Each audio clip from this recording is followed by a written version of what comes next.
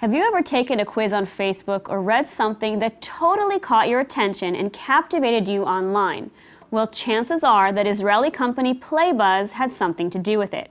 Playbuzz is a Disney backed storytelling platform used by major brands worldwide to author, distribute, and monetize interactive stories that drive audience engagement. Here to tell us more about this incredible Israeli startup is Yael Shafrir, VP of International Partnerships at Playbuzz. Hi, welcome. Thank you. Pleasure to be here. So let's jump right in. What does Playbuzz do?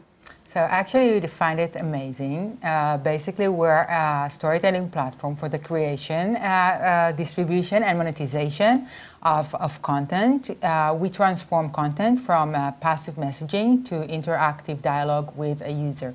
Uh, we do this in order to bring storytelling into the uh, to, into 2019. Mm-hmm. And the idea is that the format that worked uh, 500 years ago when newspapers were originally invented is uh, not really uh, working today. Not relevant anymore people attend, people's attention spans are decreasing, as you mm-hmm. mentioned, and um, the idea is to uh, understand that people are consuming uh, their, the content mainly on their uh, mobile devices, and we want to come up with something that will be really uh, effective, assuming that they have lots of content uh, on this device, and uh, as a publisher or as a brand, we want them to prioritize our content. Mm-hmm. So you have clients all over the world. Can you give us some examples of companies that you work with and also what exactly you do for them? All right, so I'll give uh, maybe two examples that represent uh, the two branches, the two industries that uh, we're working with. Mm-hmm. So on the on the um, advertising side, so going uh, back, we work with two industries. Okay. On one hand, the supply, the publishers, and then on the other hand, the demand, the advertisers. Mm-hmm. And we bring these two together. So uh, as an example, we work and we won a digital award with Huffington Post uh, UK that after the Brexit uh, decided that they want to make sure that uh, young audience, millennials, interact with and consume political content. Uh, it's about okay. time, a little bit too, uh, too little too late, but still, they actually uh, did a, a, wonderful work, and they embraced our our tools and um, implemented them into their news coverage, into their storytelling systems, and um, made sure that um, their audience is really consuming political content. Mm-hmm. On the other side, on the other side, I can give as, a, as an example um, Unilever. Uh, it's a brand that uh, decided to include uh, Playbuzz as one of their uh, worldwide partners. They call it uh, Unilever Players.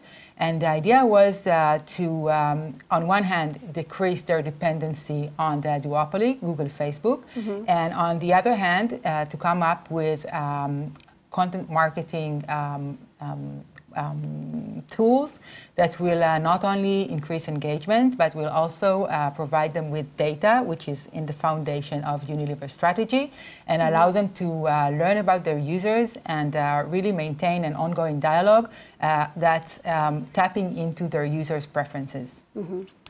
Uh, so let's talk a little bit about today's culture of social media and web browsing. Uh, as you mentioned, people's attention spans are very short nowadays.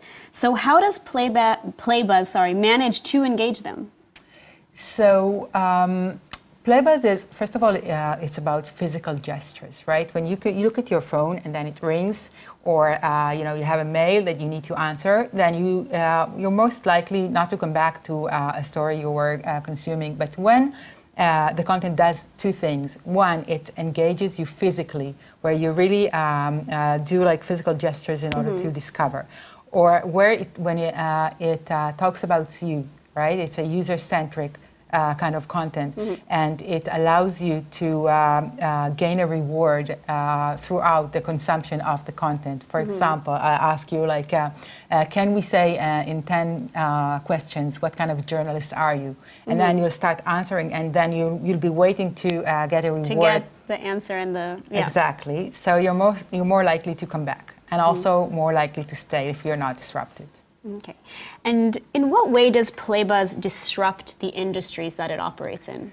All right, so um, I'll, uh, I'll, zoom out and, uh, and say a few words about the industries. So both advertising and uh, publishing are uh, very, very uh, volatile and sensitive businesses. Mm-hmm. Both are um, disrupted by the big four, uh, mainly Google, Facebook, as I mentioned before. Mm-hmm. So uh, on the publishing side, we're seeing publishers uh, struggling uh, to maintain their businesses. Mm-hmm. And what we're uh, trying to do is first increase their stickiness with uh, this uh, new forms of storytelling, as I, as I mentioned. And mm-hmm. second of all, provide on top monetization solutions.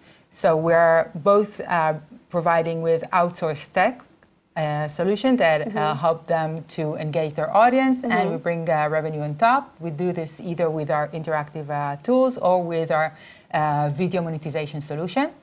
Uh, on the advertising side, what we're doing is we are allowing brands, as I mentioned with the example of Unilever, to, um, to kind of um, um, transform uh, the way they communicate with their potential clients and really understand them. What we uh, want to say is that the advertisers are um, um, now um, changing the way they, they, think about their consumers. Mm-hmm. Um, they're not only trying to um, like chase them on the internet, they're trying to create a demand for their um, products, mm-hmm. and they're doing so by provoking an interest and by uh, after engage like provoking provoking this interest, meaning creating an engagement, mm-hmm. uh, following up with their proposal to the client.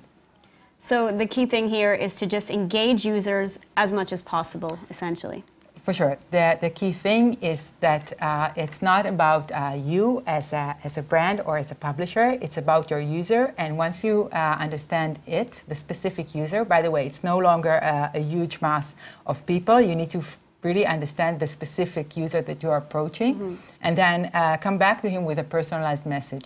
So going back to the example that I gave you about the journalist, mm-hmm. let's say that uh, I will um, uh, identify that you know you're the type of journalist that uh, will uh, always find a unique angle.